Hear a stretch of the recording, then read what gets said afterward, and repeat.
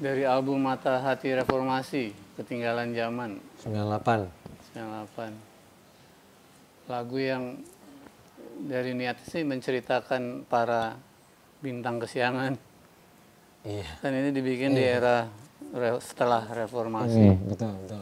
Terus tiba-tiba banyak banget orang teriak-teriak mm, apa melawan rezim. Padahal dulu dia bareng dengan rezim. iya, padahal dia dalam lingkarannya rezim.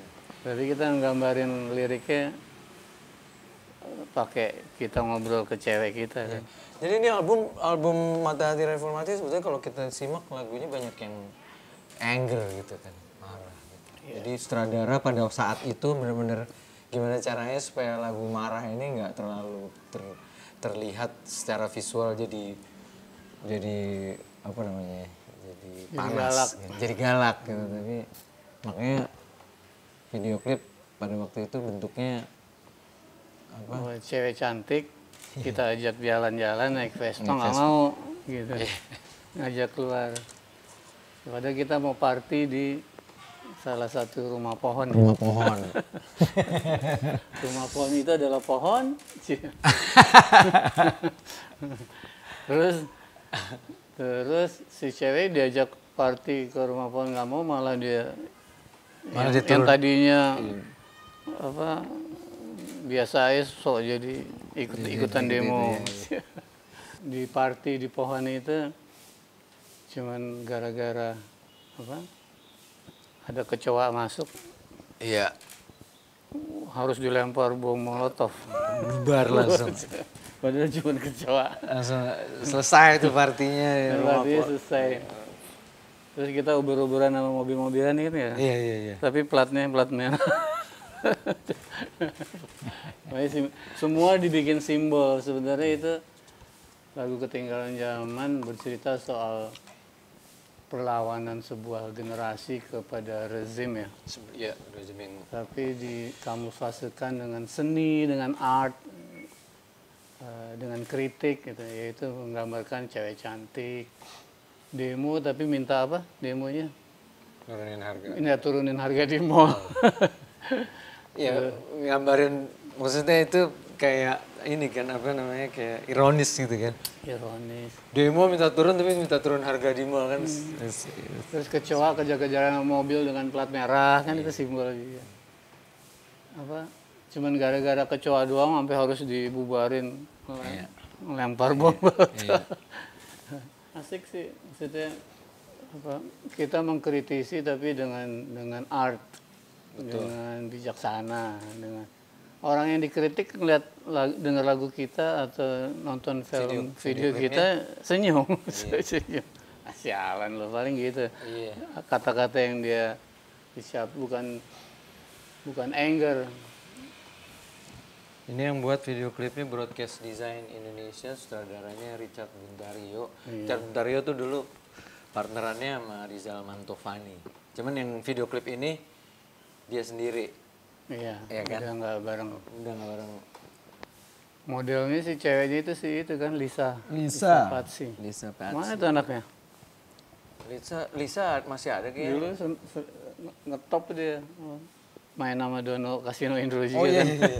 Ce- ceweknya, ceweknya DKI, dia ceweknya Dono Kasino Indro. ceweknya Warkop salah satu cewek-cewek Iya, Warkop iya, era 90s Era 90s dulu di Potlot juga ada ada geng Binyo.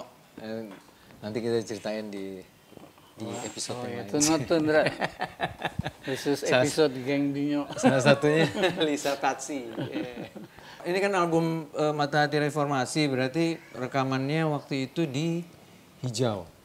studio hijau. Studio Hijau di Radio Dalam, terus yang Max Wolf ya? Wolf, Wolf bule Jerman. boleh Jerman. Iya.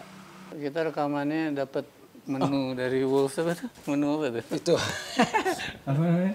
Eh, pizza mie. pizza mie Pizza mie. itu Indomie dicampur telur campur keju ya? Keju terus dicetak di di di pan. pan gitu.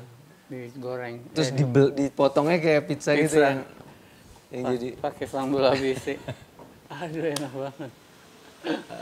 Habis rekaman habis mix lapar dingin sikat itu Eh dapat awards loh ini album. oh ya dapat AMI Award.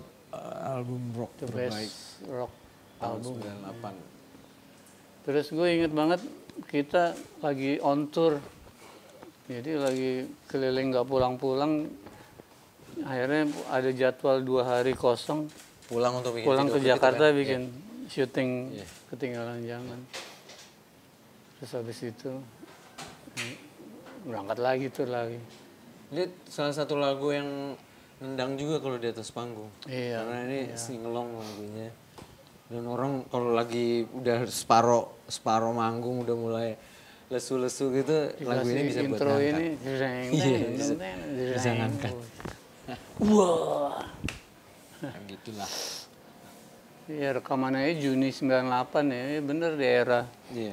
Mbak di Mei kan reformasi itu ya jadi satu bulan setelah Betul.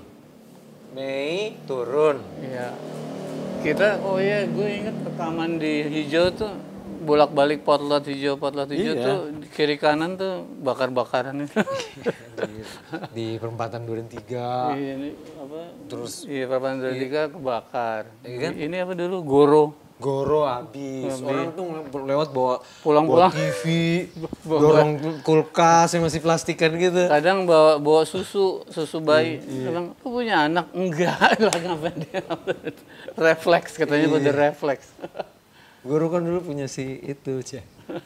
Dulu situ ada radio. Oh Gue cuma iya. nyeselnya, ya dibakar. E-radio. Iya. Radio ya? Iya, nggak bisa wawancara lagi. dah. Padahal kita syuting itu foto dalam dompet juga di situ. Di situ di atas. Iya, di parkiran. Ya,